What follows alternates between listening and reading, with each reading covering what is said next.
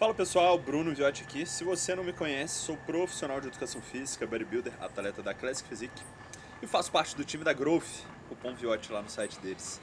É, vamos hoje de perguntas e respostas. Bruno não responde aqui no canal, então responder algumas perguntas, tanto as malignas, as perguntas miseráveis, quanto as perguntas decentes que merecem uma resposta honesta. Bora lá.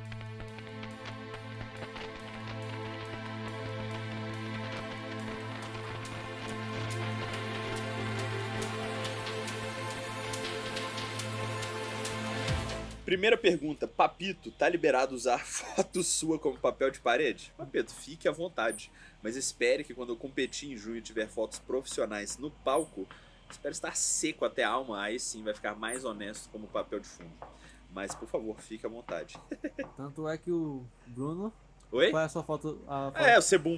Chris Bumps é minha foto de fundo. Agora, se você quiser me usar com foto de fundo, é um prazer. Pergunta do Felipe Torres: Como conciliar jiu-jitsu e musculação? Vai depender de qual deles você quer focar. A sua ênfase é no jiu-jitsu? Você vai usar a musculação como uma preparação para o jiu-jitsu? É diferente. Agora, se você quer apenas conciliar e você tem um foco na musculação, eu deixaria o jiu-jitsu duas vezes a semana no máximo, é, em horário separado da musculação.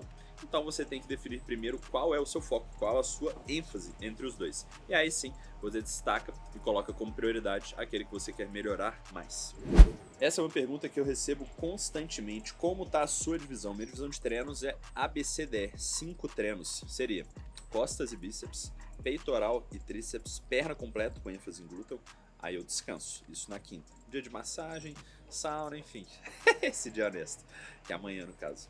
É, na sexta, ombro e costas. E no sábado, bíceps e tríceps. Domingo, descanso completo, com cardio leve, que é sua caminhadinha.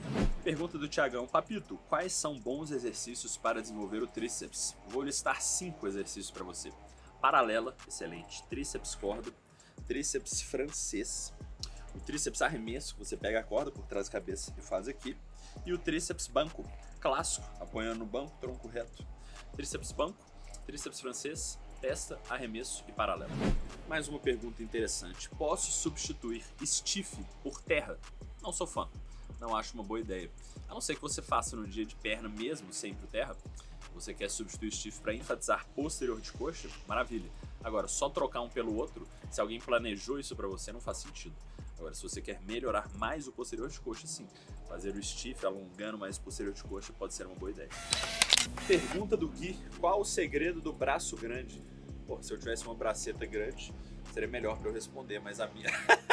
a minha ainda precisa crescer, papito. Mas bom, é 47. 47 braço não tá ruim, não, né, Sanzito? Pô, tá, tá excelente.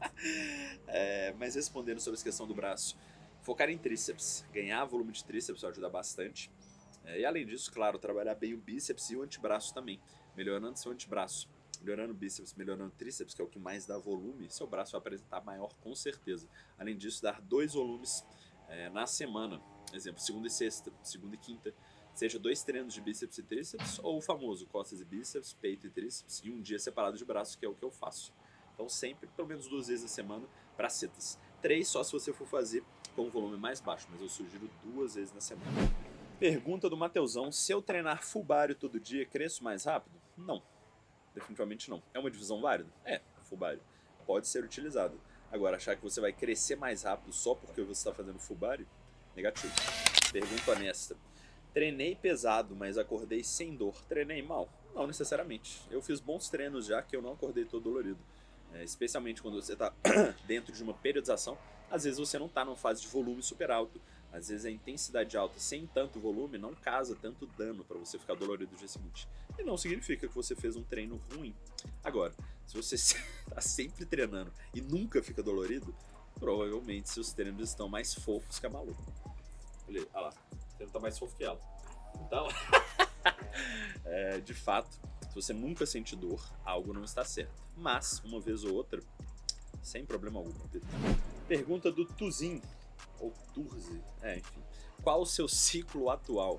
BCA 15 gramas por dia, glutamina 10 gramas, creatina 10 gramas. É, além disso, uso também vitamina C 5 gramas por dia, além de água gelada. É, água gelada, aproximadamente 4 a 5 litros por dia. Esse é o meu ciclo atual, faço todo sentido. Como começou a relação com o Cris Aceto? Pô, pergunta como começou, quando como eu comecei a ser atleta do Chris. Como começou a relação, parece que tô namorando com o cara. Mas, mas enfim, é, meu querido Cris Aceto, mandei e-mail para ele, demorou meses para responder. Quando, eu já até fiz um vídeo aqui no canal sobre isso, é, quando, como começou. Mas basicamente mandei e-mail, demorou para responder, mas quando respondeu foi super rápido. Falou que tal data ele começaria a trabalhar com novos atletas, chamei ele naquela data e iniciamos. Esse vai ser o segundo ano trabalhando com ele. É, então, creio eu que até 4, 5 anos de trabalho com o Chris, treinando bem, fazendo tudo certinho, dá para evoluir um absurdo.